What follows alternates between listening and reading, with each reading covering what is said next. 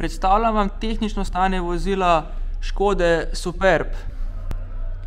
Zadnji izpušni lonec v odličnem stanju, zadnja prema na levi strani, blažilnik, vzmet, brez posebnosti, desna stran prav tako brez posebnosti, v odličnem stanju. Obloga dna vozila levo ter desno brez posebnosti, v odličnem stanju.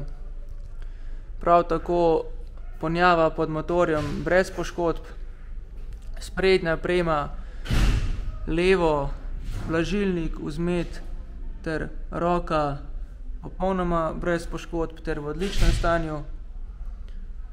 Prav tako na desni strani odlično mehansko stanje. Odbijač spredaj brez posebnosti, v odličnem stanju. Pnevmatika in platišče spredaj levo popolnoma brez poškodb ter v odličnem stanju.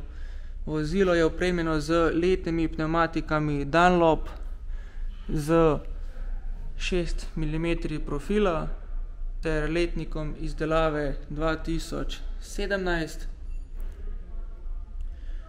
Prag na levi strani vozila v odličnem stanju ter popolnoma brez poškodb. Prav tako pnevmatika in platišče zadaj levo v odličnem stanju. Odbijač zadaj manjše površinske poškodbice zadnjega difuzorja. Pnevmatika in platišče na zadnji desni strani v odličnem stanju ter popolnoma brez poškodb.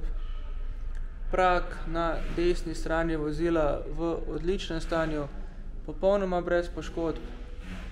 Prav tako pnevmatika in platišče spredaj desno v odličnem stanju ter popolnoma brez poškodb.